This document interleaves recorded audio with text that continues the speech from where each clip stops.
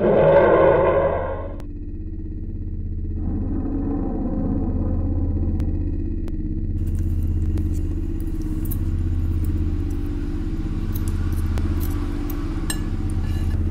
ต้น เราแต่งงานกันดีไหม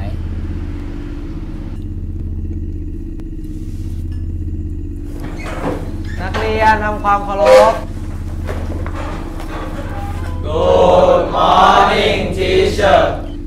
Good morning student how are you ที่โรงเรียนพี่อะมีเด็กคนหนึ่งพ่อแม่เพิ่งตายเมื่อสองวันก่อน น่าสงสารเนอะเรารับเด็กมาเป็นลูกบุญธรรมแล้วนะ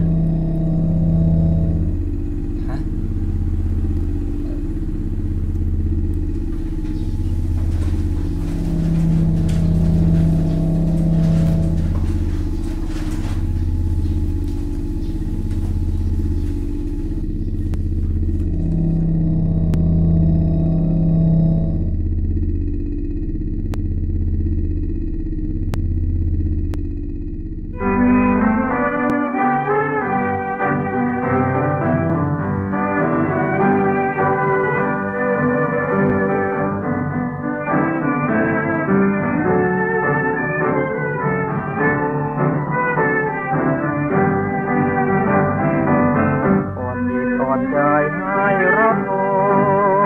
มผู้ชื่นผู้ชมอยู่ไหนลมพัดกลิ่นหอมของใจหอมเอ่ยประทินกลิ่นใดที่ทวนทวนใจให้ตรงประทินกลิ่นเดียวกันนี้เอ่ยโอ้กลิ่นที่เคยเชยชมกลิ่นเนื้อกลิ่นนองลองลมคิด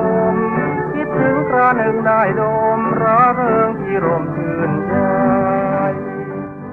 ครูจะมีอะไรกับผมหรือเปล่า